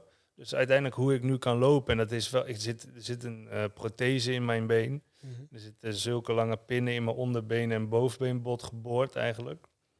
Maar ja, ik heb het geprobeerd met mijn oude knie. Maar dat, je moet je voorstellen, daar, daar zat geen kraakbeen in. Er zat geen eh, meniscus in. Er zaten geen kruisbanden in. Het zat heel weinig nog Eigenlijk in. niks. Ja, ja, ja. Dus dat ging over elkaar heen. Eigenlijk, mijn bot ging over elkaar. Dus na ja, drie keer lopen zei hij al van dit gaat niet werken. Want ze zagen al slijtage, zeg maar, dat het bot op bot was. Dus de enige optie was een nieuwe knie. En ja, dat heb ik gedaan. Uite- Uiteindelijk best wel veel ellende mee gehad. In oktober laatst nog geopereerd. Omdat er een infectie in mijn knie zat na twee jaar. Dus best wel veel, eh, ja, veel ellende ook alweer wel ermee meegemaakt. Maar nu op dit moment voelt het goed. En ja, ik hoop dat het zo blijft. Maar ik slik nog steeds antibiotica. Moet ik mijn hele leven lang blijven slikken. Maar op dit moment, ja, naar omstandigheden voelt het goed. Ja. Doet het je wat om dit zo misschien voor de zoveelste keer weer te vertellen? Of, of- Ja, het, het blijft altijd wat doen. ja. Omdat nu wat jij net zegt, weet je wel, van het is pas drie, vier jaar geleden dat je nog voetballer was. Ja, ja, En mijn leven is voor mijn gevoel nu zo ontiegelijk omgedraaid. Niet dat dat erg is, maar wel, ja, je denkt dan toch wel weer terug. ja. en ik praat ja. er wel gewoon over, dat vind ik geen probleem. Ja. Want ik vind dat ook wel goed om over te hebben. Want ik wil het niet opkroppen, zeg maar. Ik heb het liever dat ik het ook gewoon eh, ja. wegpraat. Maar het doet me altijd wel wat, tuurlijk. Ik, eh, was, ik ben bijvoorbeeld ook wel eens aan het denken, wat zou, als het niet was gebeurd, waar stond ik dan? Maar ja, dat weet je nooit. Nee. Maar er zijn wel dingen waar je over nadenkt soms. Maar wat ook, wat ook wa- waarvan ik persoonlijk vind, daar moet je ook de ruimte voor nemen dat dat hele normale gedachten zijn. Dat dat toch, dat je Zeker. ook dat ja. plaatje gewoon even voor jezelf afspeelt. Maar als je het vergelijkt met de persoon Leon daarvoor en de persoon die nu hier zit, is, is, is daar een groot verschil in? Ja, wereld van verschil. Wat is het verschil? Ja, het, het, het grootste verschil is dat je, ehm, en dat zijn cliché dingen misschien, maar dat je ehm, dingen niet als normaal gaat zien. En dat deed ik wel. Mijn leven, dat kabbelde gewoon voor. Ik was elke dag aan het trainen, in huis. Eigenlijk best wel veel hetzelfde. Best wel een bubbel, een soort voetbalbubbel. Ja. En nu, eh, ja, mijn leven ziet er zo anders uit. Ik geniet veel meer van dingen, ook al kan ik veel minder, geniet ik toch meer van de dingen die ik doe. Ik geniet zelfs als ik een dagje aan het werk ben. Terwijl heel veel mensen wel eens zeggen van Ja. eh, werk, het is dat het moet, daarom doe ik het. Ja. Maar ik geniet daarvan. Dus ik heb iets anders gevonden in de makelaardij. En daar, eh, ja, ik geniet gewoon dat ik dat kan doen. Ja. En dat is wel een wereldverschil. Mentaal ben ik ook honderd keer sterker geworden. Van niks kan je nog echt wat. Natuurlijk raken mij dingen van familie en mijn kids natuurlijk. Maar de rest kan mij niet zo heel veel raken. En dat eh, klinkt misschien egoïstisch, maar dat is gewoon zo, ja. Maar misschien, eh, misschien is het juist goed. Kijk, als je wat meer de dingen gaat waarderen. Ik denk dat dat eh, juist een heel mooi iets is wat, wat je daar dan uit hebt gehaald. En dat is ook het enige, denk ik, wat je overeind heeft gehouden. Wat, wat je moet doen op op zo'n moment dat je zulk nieuws krijgt, zoiets meemaakt. Eigenlijk misschien wel, ja, wat ik al zeg, je grootste nachtmerrie. En, en dat iedereen daar wel bang voor is. Als je fysiek zo bezig bent en zo afhankelijk van het leven bent ook, hè, met sport. En ja, ik denk dat iedereen die angst wel een keer heeft. weet je wat als dan dat gebeurt? Wat, wat zou je dan willen doen? Zou je dan nog wel bewijzen van, hè, want je zegt het net al, zou je er nog wel verder willen leven? Ja, het zit in een heel klein hoekje. En dat is wat mensen niet echt vaak beseffen. En dat moet je ook niet doen. Je moet niet de hele dag gaan Nee, denken nee. van het kan hier gebeuren. Want dat, ja, Dan heb je ook geen leven. daar heb je ook geen leven. Maar wat ik wel wil meegeven aan sommige mensen is, en dat hoor je wel vaker, maar laat het niet pas beseffen dat je van dingen moet genieten nadat zoiets gebeurd is. Ja, ja, En dat is echt waar. Dat is 100% waar. En bij mij is dat wel gedaan. Dat, dat vind ik jammer. Maar ik ben wel blij dat het uiteindelijk gekomen is. Maar voor mensen die niet eh, zoiets hebben meegemaakt van... Doe dat nu. geniet nu voordat Geniet het te laat is. En ja. doe gewoon echt de dingen die je ook eh Ja. wil doen. Maar hoe, hoe zou je dat dan bijvoorbeeld anders gedaan hebben? Want dat is een hele, hele mooie, weet je wel, me- mooie metafoor die je, die je net maakt. En geniet nu, maar hoe doe je dat dan? Hoe had je dat dan anders gedaan? Als je bijvoorbeeld die tijd dat je bij FC Utrecht speelde op Anfield eh, moest gaan warm lopen. En, en dat iedereen al kippenvel krijgt bij gewoon dat inbeelden. Maar hoe zou je dat dan... Tuurlijk, daar heb ik 100% van genoten. En daar heb ik misschien nog te weinig van genoten, denk ik. Alleen, eh dit zijn kleine... Ik had toen ik voetbalde kids, kleintjes. En ik geniet daar zoveel meer van nu. Om, ja, ik weet, ik, dat is, het is heel moeilijk te zeggen waarom dat zo is. Maar je leeft gewoon in een soort bubbel. En het is normaal, weet je Ja. wel, van het leven gaat gewoon zo. En het is normaal dat die kids er zijn. En die doen lekker hun ding. Maar Ja. het is niet normaal. Is het dan een soort bewustzijn wat je moet Ja, het is creëren op het erg. moment? En dat, dat lijkt me wel interessant, hoe je dat dan doet. Hoe creëer je bewustzijn voor eh, dat wij hier nu zitten? Genieten van een mooi gesprek. Of hoe creëer je bijvoorbeeld eh, van een week vrij die volgende week Ja, voor veel mensen gaat komen? is dat niet dat het in het leven dat, dat je daar situaties voor moet meemaken? Ja, Want zeg maar, het, het, weet je, als je bezig bent met je dagelijkse dingen, en dat, of je nou succesvol bent of niet, je leeft er gewoon in het moment, ben je gewoon alweer bezig met morgen. Ja, En dat is gewoon een, een hele normale dynamiek. Maar of je hebt tegenslag, er zijn bepaalde wrijvingen nodig, ja, waardoor je ook in één keer kan, weet je, dat is hetzelfde als iemand die eh 15 jaar bij een bedrijf werkt, bedrijf gaat failliet. En dan in één keer gaat denken, jeetje, wat had ik het daar toch fantastisch. Dat klopt zeker wat je zegt. Alleen het enige wat ik denk dat mensen meer moeten doen, en dat was ik ook, deed aan zeg maar, toen ik voetbalde, door meer te genieten van succesmomenten. Ja. Even vieren of stilstaan. Of, Het ja. kan klein iets zijn, weet Ja, je wel. Het kan iets heel kleins zijn als je bijvoorbeeld een goede target op werk, ik zeg maar wat. Geniet daarvan. Eh, Trek een eh, champagnefles op, ik zeg maar wat hoor. Maar geniet daar even van in plaats van dat je alweer aan morgen denkt. Ja. Gewoon meer eh, succesmomentjes mag je gewoon vieren. Want het is best wel bijzonder dat je dat dan gehaald hebt. En mensen die, ja, die, die vinden dat vanzelfsprekend eigenlijk. Maar dat is het niet altijd. En wat jij zegt wel dat je bepaalde dingen moet meemaken, klopt wel. Alleen ik hoop dat mensen daar eerder, ja, eerder dat beseffen dan dat ze iets ergens moeten meemaken. Ja. Maar je gaat het wel meer beseffen als je zoiets meemaakt. Tuurlijk, 100%. Ja, maar ik denk misschien ook ehm, dat we eigenlijk te weinig voelen. Dus zeg maar, je kan namelijk van iets heel kleins, dat kan een nummer zijn, je rijdt alleen in je auto en er komt een nummer voorbij. En voelen dat je echt geniet. Dus in dat moment, gewoon eh, zeg maar dat. Dus we zijn, en ik denk dat als je het toelaat om gewoon te voelen, dan, dan, dan is dat ook gewoon, dat kan een gesprek zijn waar je, waar je dan naar huis rijdt en je denkt, ah, dat was toch een heerlijke avond. Weet je, dat kan inderdaad samen even met je vrienden of bij je ouders of weet je, het zijn hele kleine. En dat is denk ik ook in het vaderschap, dat je dan gewoon een gesprekje of iets kleins of een blik, dat je dat even op je laat inwerken. En, en dan denk ik dat je al veel bewuster bent met wat er in je omgeving gebeurt. Ik denk dat dat het is, ja. Dat het gaat Ja. om even, even stilstaan, even voelen van, oh ja, wat, wat is er nu? En misschien ook terugkijken, weet je wel, naar, weet je wel, als je dan... ja, Maar, maar ook adresseren. Je Ja. moet ook voor, je, voor jezelf kunnen adresseren van... wat vond ik daar nou van? Weet je wel, want bijvoorbeeld, we nemen een podcast op... en we, je denkt aan de volgende. Ja. Maar je kan ook een momentje voor mezelf... dat ik op de bank zit en dat ik denk van... nou, wat vond ik nou eigenlijk van het gesprek? Kijk, wij kunnen het gesprek terugluisteren... Ja. waardoor je dat wel weer doet. Ja. Maar dat kan dus... ik denk dat we dat te weinig in het leven doen. Maar heb je dat dan nog gedaan? Heb jij bijvoorbeeld na die eerste keer, omdat wij, wij luisteren Mhm. natuurlijk de podcast, ik luister hem één keer puur audio en één keer kijk de video nog een keer en en that's it eigenlijk. En als ik dan eh, vijf jaar geleden denk van, oh, we gaan een podcast opnemen, hij is inmiddels die eerste is 10.000 keer eh, bekeken op YouTube. Ja, denk ik, ja, het is wel leuk. En jij benoemt het dan, hé, tien keer gefeliciteerd. En denk je, ja, Nou, kijk, weet je wat het is? Hè? Kijk, ehm, ik heb heel lang radio gemaakt. Dus heel lang heb ik gewoon dan. dat- wat het moeilijke van radio is, is dat ik praat in een mic. Ik weet dat mensen luisteren, maar ik heb geen idee wie ik ben. Ik heb geen idee hoeveel mensen. Dus je doet gewoon. Ik heb een presenteer mijn programma, ik ga weer naar huis. Prima, en ik krijg af en toe. Hé, hey, Lano, man, leuke show. Oh, dat was mooi. Goed gesprek. Maar ik heb geleerd door te genieten dat dan de eerste aflevering, dat die 10.000, dat het een mijlpaal, omdat dat komt wel even binnen. Want je moet je bedenken dat meer dan 10.000 mensen hebben de moeite genomen om naar het gesprek te luisteren. En al die 10.000 mensen, Ja. die hadden in dat uurtje wat anders kunnen doen. Ja, maar dat is het. Je, je doet het nu eigenlijk heel mooi. Dus je geeft eigenlijk nu een mooi voorbeeld van hoe je dat dan moet doen. Hè? Dus je ontleedt de situatie. Dus je trekt even alles uit elkaar. Mhm. Van oké, de podcast, hoeveel luisteraars, zoveel mensen. Dus dat, dat is denk ik wel een mooi voorbeeld van hoe je zo'n bewustzijn creëert. Dus dat je even gaat zitten en even naar de details kijkt. Van, en en ja, hoe je daar naartoe hebt geleefd. En dat is hetzelfde als van we zitten midden in dit gesprek. En terwijl ik luister naar Leon en ik kijk naar Leon en ik kijk naar jou, probeer ik dat ook op me laten inwerken.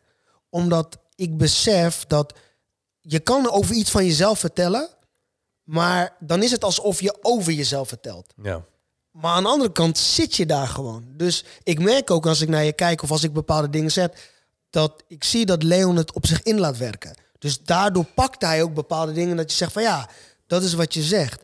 En wat ik zo mooi vind is dat uit bepaalde dingen, zeg maar, ehm, Leon heeft het beleefd, geleefd en je leeft nu je, je leven. Maar als, je, als ik erbij stilsta hoeveel hij heeft moeten doen om hier te zitten zoals hij zit, dat is niet normaal. Dat is, daar moet je mentaal zo verschrikkelijk sterk voor zijn. Als iemand al moeilijk vindt om vijf kilo af te vallen. ja, En zichzelf die pijn niet te kunnen doen, ja. zeg maar. Maar wat als jouw hele been er niet is? En er tegen jou het gezegd moet worden geamputeerd. ja, ja. Dus Ehm, Leon vertelt het in een paar zinnen. Ja, ja. Maar dat zijn dagen, weken, maanden. En dan nu nog weer een infectie in oktober. Weer. Maar toch mentaal, je moet. En dat vind ik mooi, dat het dan uit Leon komt en hij vertelt het. En dat mensen dat kunnen horen. Ik denk En als dat, ja. voor mij is het de podcast en verhalen delen met elkaar. Als persoon X dat eruit haalt en die haalt dat eruit, of net een zin, dan is dat het, dat is het mooiste wat er is. Ja. En, en daarvoor doen wij dit. Ja. Dat wij willen die echte verhalen. En wat ik tof vind, is dat ik aan jou merk, omdat jij al van jongs af aan een echte FC Utrecht supporter bent, Bunnik en jij hebt daar lopen schreeuwen voor Leon, zit je al met een ander. Dus dat was dat gedeelte, die dat wilde heel graag aan hem vragen. Zeker. Dus dan, zeg ik, dan ben ik zo bewust dat ik ervan geniet dat ik weet dat jij die vraag wil stellen ja. omdat ik, ik laat dat gewoon. Ik kijk naar jou en ik denk, ja, hoe gaat hij dat doen? Maar dan geniet Leon er wel weer van. Omdat, dat vind ik dan wel weer tof. Omdat die een jongen van de club uit de buurt, dat zijn maten, die stonden daar ook. ja. Want dat is eigenlijk, denk ik, in de voetballerij... is dat heel bijzonder als je voor de club gaat spelen waarvoor je bent... maar jouw directe omgeving support de club ook. Dus er is een hele andere gemeenschappelijke goed. Dus dat maakt het al heel bijzonder. Weet je wel? Dus, dus daarin voor mezelf, want dat is hetzelfde. We zijn volwassen kerels. We hadden overal kunnen zijn op dit moment waar we hadden kunnen zijn. Maar we zijn hier. En we voeren dit gesprek. En ik laat het op me inwerken en dat vind ik tof. En ik hoop dat er nu iemand kijkt en denkt... Nou, dat vind ik wel tof dat hij dat zo tof vindt. Ja, ja, weet je wel? dus dat maakt, voor mij, dat maakt het echt. En als het echt is, weet je wel, dan... Ja, Wat, wat ik, ja, dat is, dat is een heel, heel, mooi, eh, ja, heel mooi hoe je dat toelicht. En hoe je dat even gewoon op ons in laat werken. Op jezelf laat inwerken. Op de luisteraars en kijkers laat inwerken. En het is vaak ook je eigen ervaring hoe je dat dan doet. En ik denk dat niemand anders dat beter kan aannemen dan bijvoorbeeld iemand die profvoetballer was. Die die droom gewoon eh, ja, verbrijzeld ziet worden eigenlijk. Letterlijk en figuurlijk.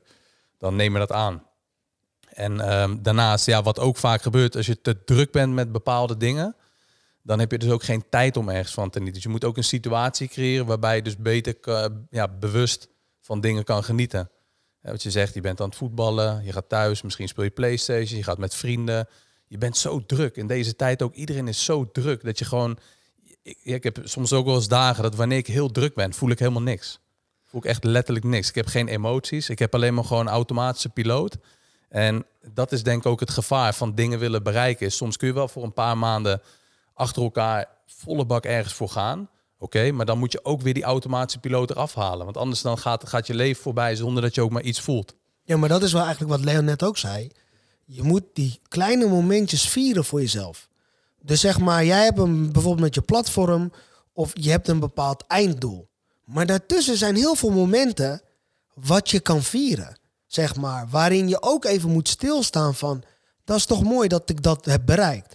Weet je wel, of het is toch mooi dat ik een bepaald soort compliment krijg. Of als wij hier beneden aan het trainen zijn en eh, Don zegt, eh, nou, die, die is wel drie keer erover begonnen. Nou, Tony de BN'er, man.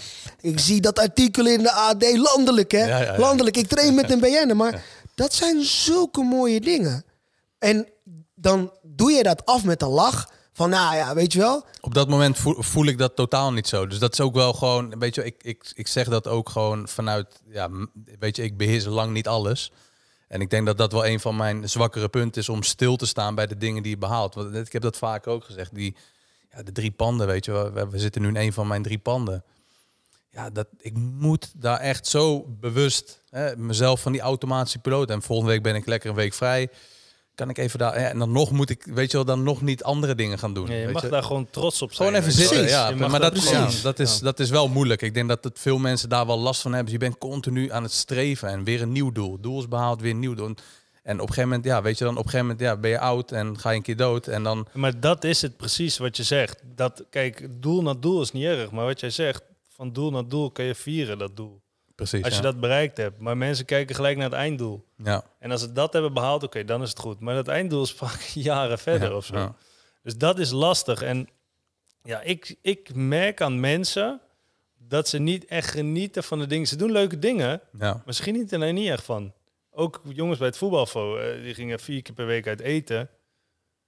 Een doen ze gewoonte. niet echt. Het is gewoon gewoon. Het wordt gewoon. En ik ga nu echt niet vier keer per week uit eten. Als ik nu uit eten ga, geniet ik echt van dat ik uit eten ga. Ja. Het is echt voor mij echt leuk dat ik dan uit eten ga. En vroeger deed ik dat niet. Toen ik voetbalde, ging ik uit eten. Ja, prima, gaan we weer, weet je wel. Ja. En het moet, dat moet iets zijn... Ja, ik, ik doe dat vaak op momenten dat we eigenlijk iets te vieren hebben. Ja. Eh, dan doe ik dat. Ja, ik trek thuis een fles open of zo. Ja, ik- dat is gewoon mijn momentje. Maar dat wisten we net al, hè, toen hij daarover begon. Ja, ja, ja. Toen wisten we, wordt- doet hij? die Hij wordt- trekt de die champie, die gaat alweer open. Daar is hij weer. Die wordt wel eens opengetrokken. Nee, maar, Ja, maar het is dan, wel goed, Ja, ja. maar dan, ga, dan pak ik mijn momentje even. Gewoon, ook al, ook al is dat een eh, kwartiertje. Dan ga ik even over dat punt nadenken gewoon. Ja, En er hoeft niet eens wat uit te komen, maar gewoon denken van hoe ik dat gehaald, weet je wel. En dan kun je best wel trots op jezelf zijn Ja. soms. En soms denk je ook van, nou, misschien had ik toch iets anders beter kunnen doen. Maar toch heb je dan een soort trotsheid. En dan Het geniet je daar wel van. Je geniet daar echt van. En dat doen denk ik we mensen weinig. Die, wat jij zegt, morgen is weer een dag, gaat toch weer hetzelfde. Maar ja, de maandag is elke maandag hetzelfde. De dinsdag is elke Ja. dinsdag hetzelfde. En Ja, maar dus zo leven ja, mensen. En ik snap het wel, want mensen werken gewoon vaak elke dag.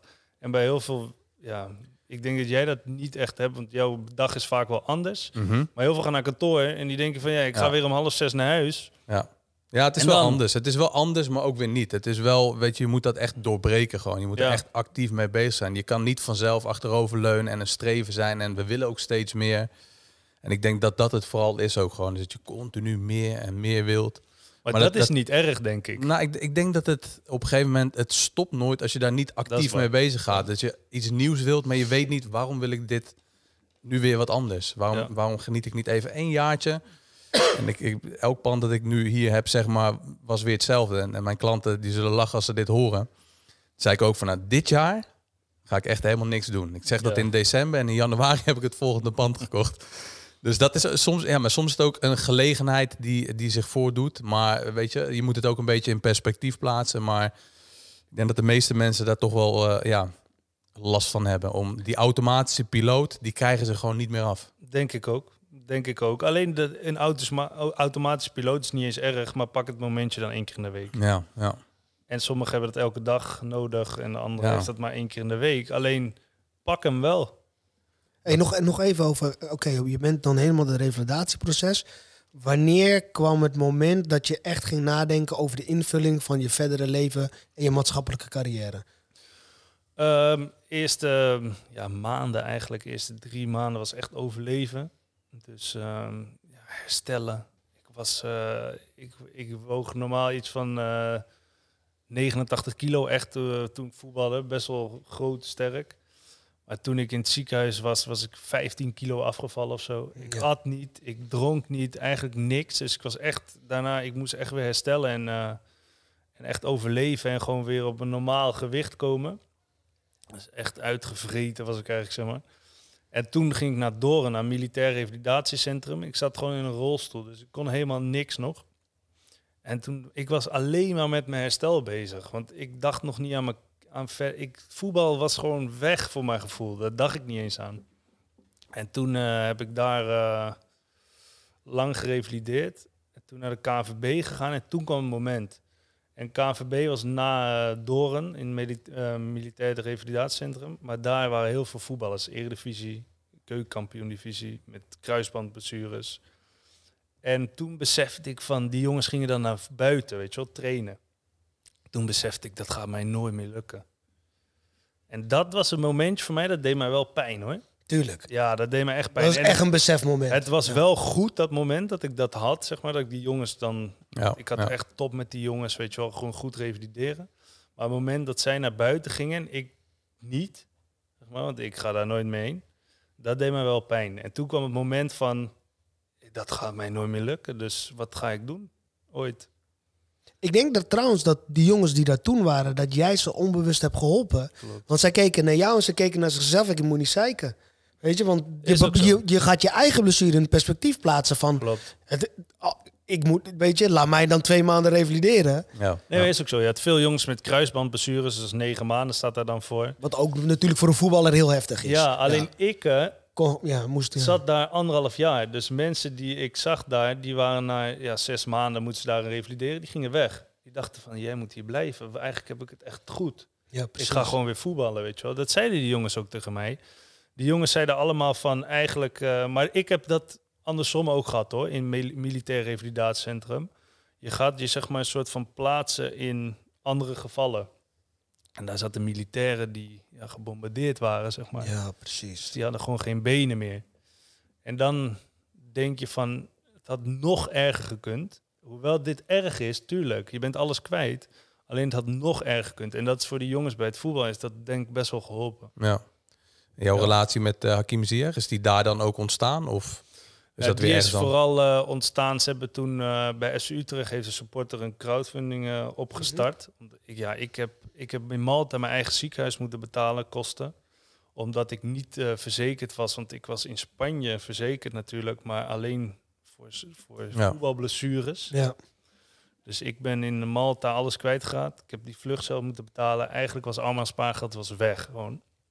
En toen hebben ze een crowdfunding en toen hebben ze hier eh, via een vriend van hem, die kende ik nog, contact opgenomen om ja, mij te helpen. Weet je wel, om die kids hun spaarrekening weer te vullen, hoe het was Mhm. en dat ja, soort dingen. Ja.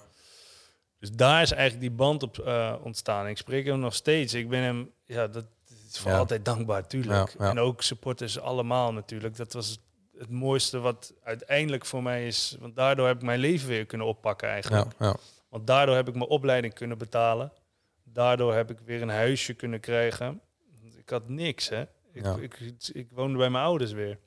Gewoon helemaal opnieuw beginnen. Helemaal gewoon van nul. Van 0,0 gewoon... Fysiek, maar ook financieel. Ja, fysiek, financieel. Mentaal vooral. Mentaal, dus eigenlijk zat ik tot aan ja, de bodem eigenlijk. Dus ik moest weer omhoog krabbelen.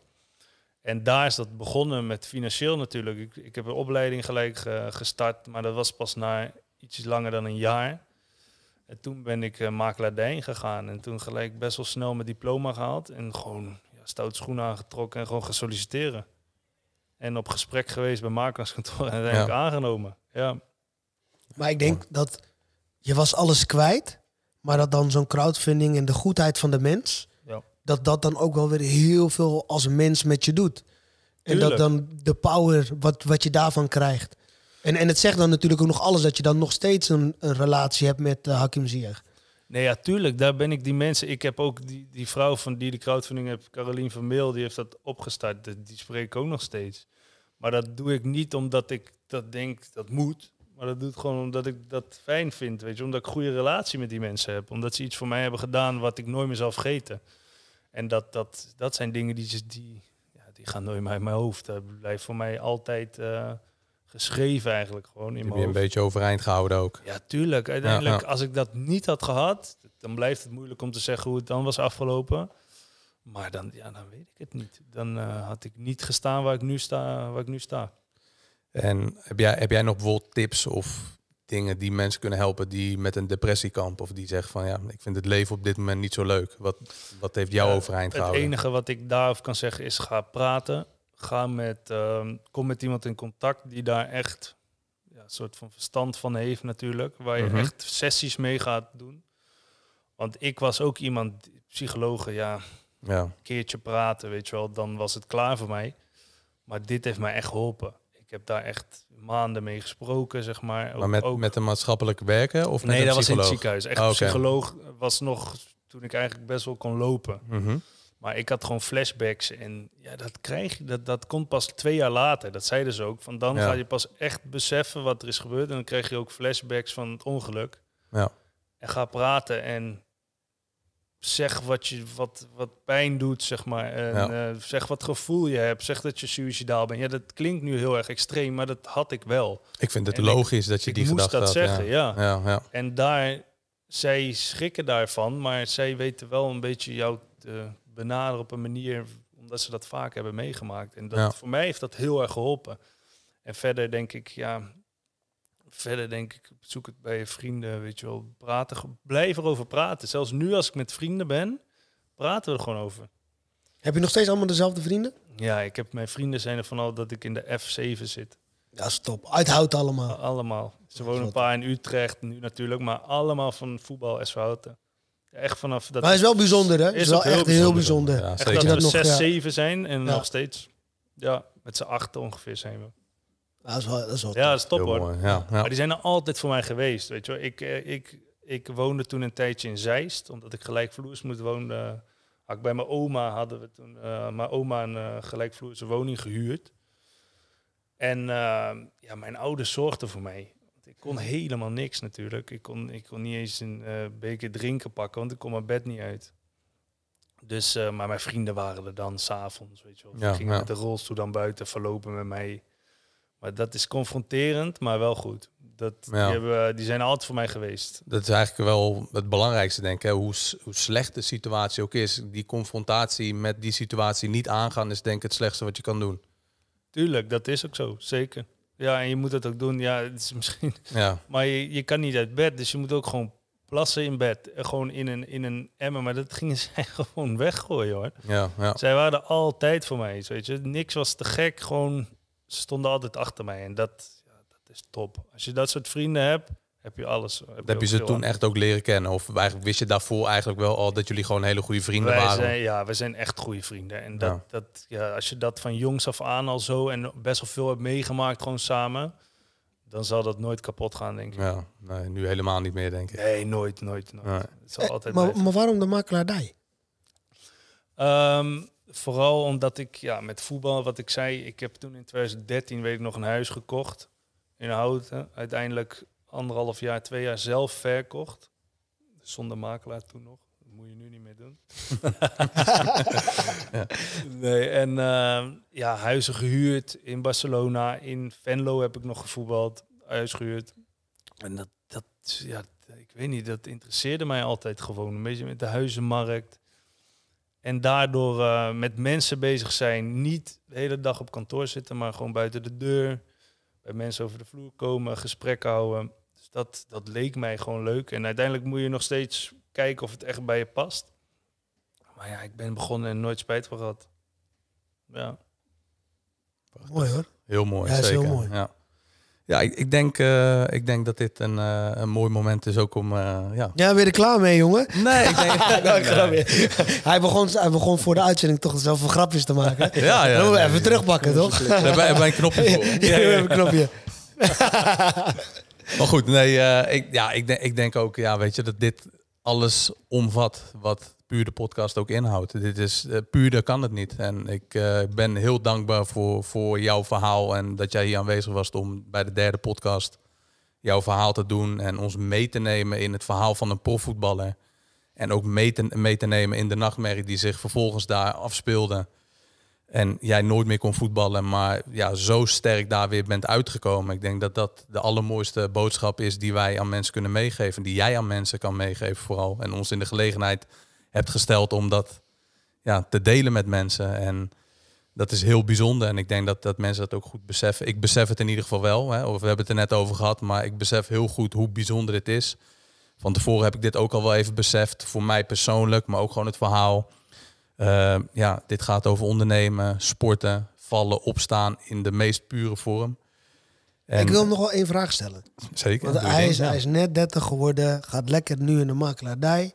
Waar gaat het heen dan? Wat zijn, wat zijn de doelen? Ja, de doelen zijn om uh, ja, nog verder in de makelaardij natuurlijk te komen. En daarnaast heb ik uh, ja, een huisje in Spanje. Heb ik uh, samen met werk ook gedaan en de verhuur regel ik daarvan. Dus ja, er zijn genoeg dingen waar wat ik ja, toch, uh, over de hele wereld zijn huizen. Daarom. In de hele wereld hebben, ze, hebben mensen onderdak nodig. Ja. Dus nee, nee, nee, maar dat soort dingen. Vooral, uh, ik heb mijn vriendin, ik heb, ik heb mijn kids, ik heb echt genoeg om voor te leven. En dat, uh, dat zijn mijn doelen eigenlijk. Ik heb natuurlijk werkdoelen, maar mijn grootste doel is het te zijn voor mijn kids. En dat ben ik er niet altijd geweest voor het ongeluk. Dus ik wilde voor mijn kids zijn, dat is mijn belangrijkste doel. En ik wil uh, gelukkig zijn met mijn vriendin en mijn familie. Mooi. Heel mooi. Heb jij zelf nog iets toe te voegen uh, na mijn, uh, mijn slot? Misschien heb je zelf nog iets? Of... Nou, ik hoop dat mensen er misschien ook al pikken, wat jij zegt, ook al pikken ze er wat heel kleins uit, wat misschien kan helpen bij moeilijke tijden. Of tuurlijk, ik heb ook nog steeds mijn momenten. Ik ben ook ja, wel eens ja. boos. Ik ben ook wel eens uh, ja, ergens teleurgesteld over. Ja. En dat kom ik ook niet gelijk uit. Maar uiteindelijk probeer ik wel te relativeren en dan ja. ja het in iets positiefs om te zetten. Maar ik hoop dat mensen daar iets mee kunnen. En ook al kan je iets heel kleins mee, voor het alleen maar leuk om te luisteren, ook helemaal goed natuurlijk. Ja, ja. Maar ik hoop dat, ja, dat iemand daar iets aan heeft gehad. Ik ben er wel van overtuigd dat het goed komt. eh. Jij niet? Ja, drop het in de comments. Ja, zeker. Ja, nee, ik denk het wel. Als je, als je, als je het een mooi verhaal vond, eh, ja, laat het zeker weten in de comments. En eh, namens mij en jou ook, denk ik, Delano, eh, nogmaals heel erg bedankt. En voor de luisteraars, top dat jullie weer geluisterd hebben, gekeken wellicht. Als je het leuk vond, ja, vergeet niet je te abonneren. Dat geeft ons ook een signaaltje dat het, ja, dat het goed gevonden wordt. En weet je wat je moet zeggen? Als je, ze moeten ook een belletje aanzetten. Dan krijgen ze zo'n melding. Dat is zo goed. Ja, ja, dat is de YouTube-taal, hè? YouTube, ja, ja, ja nou, daar moet ik nog even inkomen. Een belletje. Nee, maar dat is, dat is eh, hè, alle gekheid. Maar dat, eh, dat, dat zouden wij waarderen. En dan kunnen wij daar weer ons momentje voor pakken en even van eh, genieten. zoals we dat net hebben besproken. Even stilstaan bij de mooie en soms ook bij de minder mooie dingen in het leven. Eh, ja, voordat het wellicht te laat is. Ja, diep jongen. Zullen we daarmee het Dat is die laten we even inwerken. Oké dan. Thanks, oké. Bedankt hè. Yo.